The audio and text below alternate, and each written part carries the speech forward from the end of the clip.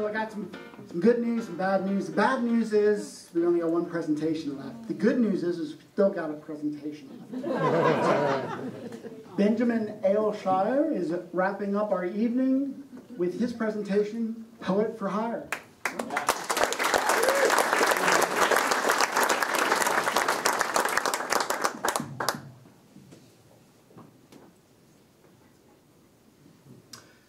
Imagine you're sitting by the fountain in Washington Square Park. From the multitude, a beautiful woman approaches and asks you to write her a poem about how the only reason she hasn't killed herself is because her grandmother is so kind she couldn't bear to make her unhappy. She wanders back into the crowd, and now you have 10 minutes to write her this Why I Didn't Do It. What if it were possible to be so selfless that every day your body shrank in its thin gown until you disappeared? And what if I told you that your slow vanishing act was the only thing keeping me from evaporating all at once, in a flash, drops of water dancing on a hot stove? What she hasn't told you is that she's been planning to kill herself that very night. The poem is just a part of how she's bidding farewell to this world.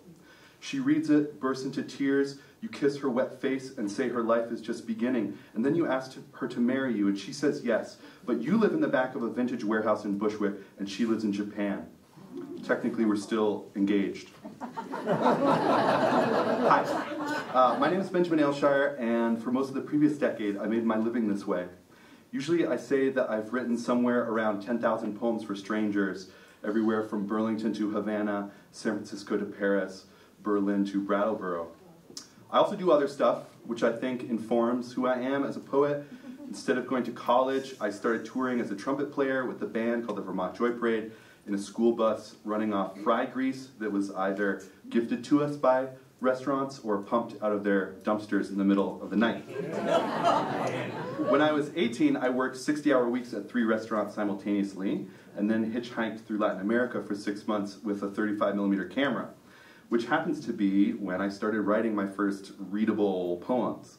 This portrait was taken in the foothills of a volcano in Guatemala I suspect I was always destined to become a poet.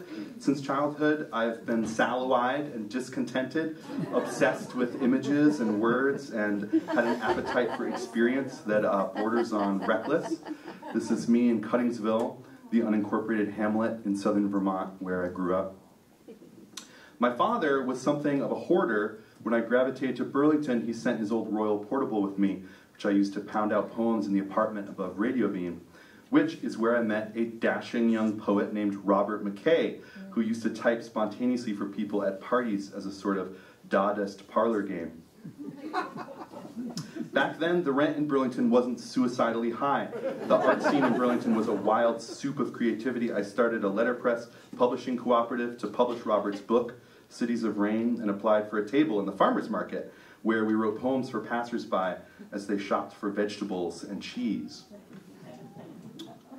From there, I started touring to all the cities where my band had played and busking in the same spots. This is Royal Street New Orleans. Soon, I was getting weird offers to appear at festivals, lucrative yet evil corporate gigs, and once a billionaire's wedding at a private island in the Adriatic, which I fumbled by asking for too much money. sometimes people don't really believe that I could make a living doing this, and I think that's because so much deprivation and labor goes unseen. I sold over $10,000 worth of this chapbook I hand sewed, for example. Even when my bank account was below zero, I was still only three book sales away from whining and dining myself. Niemand kann alles richtig machen, aber jeder etwas anderem. Diese Menschen haben schon mal angefangen. I have no idea what that means, only that a, a German newspaper called me a Weltverbesserer, or world betterer, which did wonders for my ego until I realized it has connotations of naive uh, idealism too. Uh, I think I'm going to run out of time with this slide, but I'll, this is Tom Stoppard who asked me for a poem uh, in New Orleans one time, and I did not recognize him or realize that he was still alive. Um, I love sticking weird things in typewriters. This was for the former poet laureate Tracy K. Smith, who had just flown in for the Burlington Book Festival, and she could only pay in Korean won, which I rolled into my Olivetti and handed back to her, which is the moment I first fully realized poetry was a way I could move through the world. Sometimes poets just have to show their whole ass. This is a flyer I made for an erotic party in Brooklyn that hired me, which was vanilla compared to the actual orgy in San Francisco, inside a, a former clock tower where I wrote poems for guests as they copulated freely all around me. No photos of that.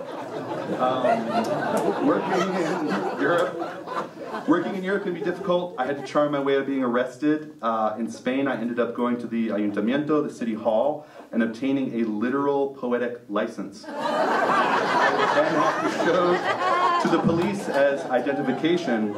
This must be because poetry is dangerous. I wrote this while the Obama administration was bombing the Middle East. It's for a family on vacation who complained they hadn't seen a single ghost. If you want a ghost story, just turn on the news. There's no need to choreograph a pageantry of fear. Why fetishize the gore of a city's history when it's already on our hands? You want to be haunted? Okay, your taxes pay for the fleets of robots to rain death onto the children of the faraway villages you cannot pronounce right now, and now, and now, and now. This work also occasionally involves eternal boredom while I wait for passersby to approach. I type these avant garde images I call text clouds, palimpsest accumulated through hundreds of hours of waiting, watching, of failure and prayer when I am left with truly nothing but memory to sustain me. My long lost fiance from Washington Square Park, she sent me a message later that night saying the poem had changed her DNA.